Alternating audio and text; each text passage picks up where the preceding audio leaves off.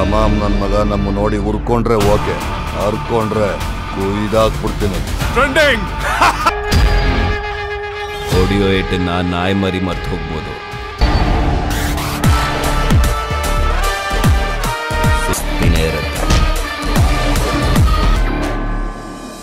तो दोस्तों आज की वीडियो में हम बात करने वाले हैं साउथ की एक और ज़बरदस्त और एक्शन से भरपूर फिल्म की जो कि थ्रिल के साथ साथ सस्पेंस और फाइट सीन से भरपूर है इस फ़िल्म में हीरो के रोल में आप लोगों को साउथ फ़िल्मों के सुपरस्टार और एक अहम जाना माना नाम प्राजवाल देवराज देखने को मिलेंगे।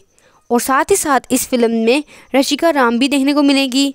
फ़िल्म की दोस्तों और कहानी की बात की जाए तो फ़िल्म में दो भाई होते हैं, लेकिन इन दोनों की एक दूसरे से बिल्कुल नहीं बनती और वो दोनों एक दूसरे से बहुत दूर रहते थे और दोनों ही फ़िल्म में ऑपोजिट पार्टी को सपोर्ट कर रहे होते हैं।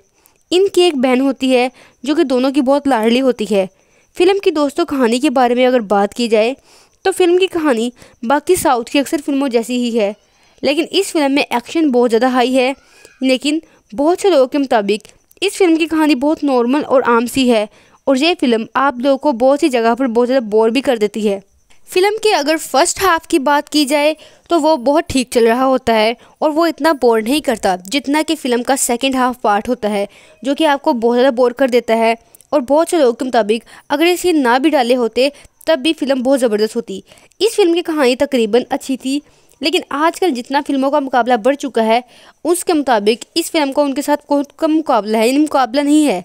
तो दोस्तों, अगर इस ज़बरदस्त एक्शन एडवेंचर से भरपूर फ़िल्म की डायरेक्शन की बात की जाए तो इस फ़िल्म को कादकर कुमार ने डायरेक्ट किया है। और अगर इसकी प्रोडक्शन की बात की जाए तो इसको सासीदर प्रोडक्शन की तरफ़ से प्रोड्यूस किया गया था। तो दोस्तों, आप इस फ़िल्म को देखने के लिए कितने एक्साइटेड हैं, हमें कमेंट करके ज़रूर बताइएगा। और साथ ही साथ दोस्तों, अगर आपको हमारी वीडियो अच्छी लगी हो तो हमें सपोर्ट करने के लिए हमारे चैनल को ज़रूर सब्सक्राइब करें। तो मिलते हैं दोस्तों एक नेक्स्ट वीडियो में एक नई अपडेट के साथ, तब तक के लिए टेक केयर